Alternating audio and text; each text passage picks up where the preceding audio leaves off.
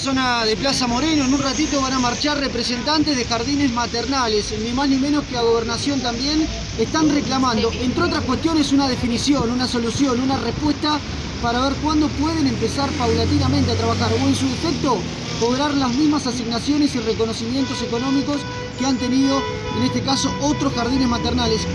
Uno de los principales focos de conflicto es la asignación, la asistencia, la producción y el trabajo. Vos me comentás que en algunos no se cobra. No, en nuestro caso, por ejemplo, la ATP hace tres meses en proceso de análisis sin respuesta.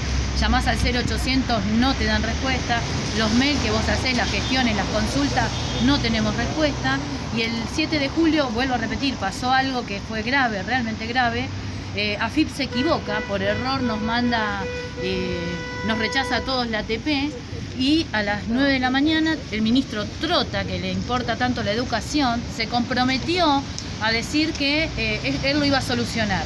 Lo solucionó porque a la tarde pasamos todos de denegado al proceso de análisis de vuelta. En nuestro caso, Mil Maravilla sigue los tres meses en proceso de análisis.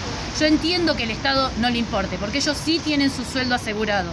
Y es totalmente injusto, porque uno como empleador, no hace cuatro meses no recibimos el sueldo. No somos empleadores miserables, somos gente que quiere trabajar y necesitamos del apoyo del Estado.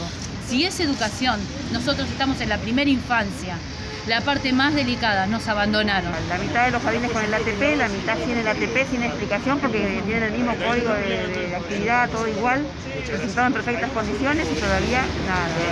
Eh, además, sin fecha para abrir en ningún momento, Así que cada vez tenemos menos matrículas, menos papás que pagan, porque los papás están contratando niñeras, porque tienen que salir a trabajar y los niños tienen que quedar en algún lado.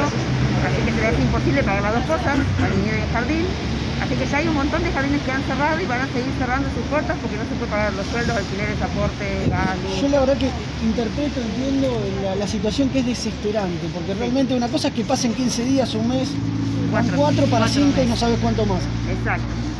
¿Han planteado o han pensado alguna, no sé si medida o, decisión más firme de abrir de cualquier manera o, o, tienen miedo? Porque te cuento, en La Plata no hay una decisión política de clausurar negocios. Yo entiendo que no es lo que corresponde ni es lo ideal, pero alguien tiene que pensar también en ustedes y en cómo seguir. Sí, lo que pasa es que nosotros estamos con nenes muy chiquitos, entonces el tema de salud ese es muy importante y eh, es un riesgo enorme tomarlo sin, el amparo del Estado, digamos, o sea, contraestatal, digamos. Sí.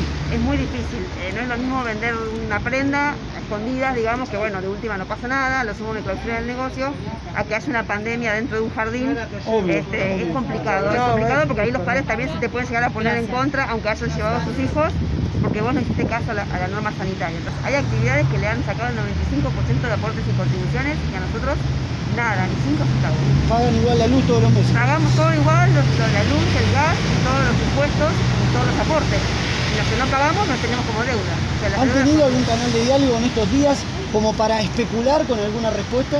No, canales de diálogo hemos tenido muchísimos, eh, inclusive hasta con el ministro de Educación, con Trota, y nos ha prometido un montón de cosas que hasta el momento, ya te digo, no se han cumplido. ¿Ha llegado el ATP para rápido o no llegó? Para algunos jardines sí, hay otros, ya te digo, más del 50% todavía no lo tienen. Todavía no lo tienen, lo tienen en, análisis, en proceso de análisis desde marzo. es una locura lo que está pasando. Y esta gente tuvo que bancar sola el sueldo como pudo, sacar préstamos, créditos, es una locura. Pero no, no, no, no ha llegado para todos.